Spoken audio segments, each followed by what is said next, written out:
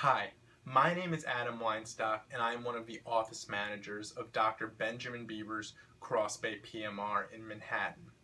If you're watching this video, you are probably suffering from a painful form of arthritis that is causing disability and pain throughout the day.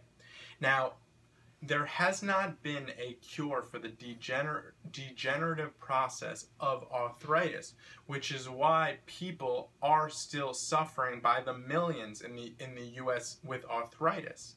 But with the advance of stem cell medicine and platelet-rich plasma, it is possible to regrow cartilage in the joints that protects you against bone-on-bone -bone, uh, friction that is the cause of arthritis pain. It is possible to regrow arthritis so that if you do have damaged cartilage, we can repair this cartilage. Dr. Bieber is having tremendous success helping his patients significantly de decrease pain and increase their mobility just through a simple stem cell injection. Now, we use both uh, stem cell and PRP, and Depending on the severity of your case, we may use one or the other, or we may use a combination of both.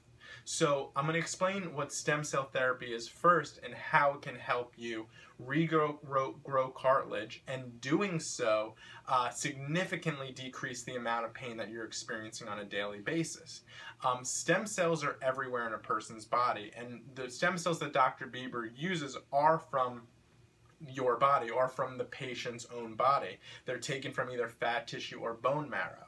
Now, in a degenerative condition such as arthritis, the cartilage keeps on degenerating and there isn't enough healing properties such as uh, stem cells to continuously repair this damaged cartilage.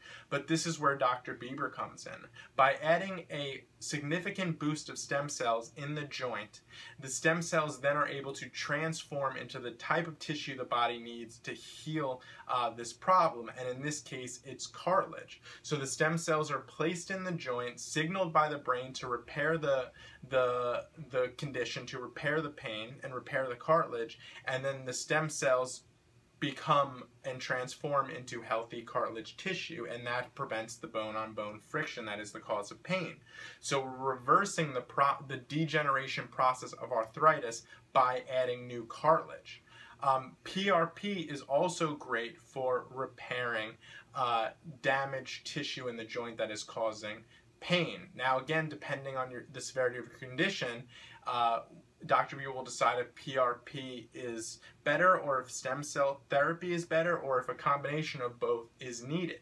But either way, you do have an option to decrease the arthritis pain and reverse your arthritis condition using non-surgical treatment. This, this is why this treatment is so great because it offers a non-surgical and effective treatment to arthritis.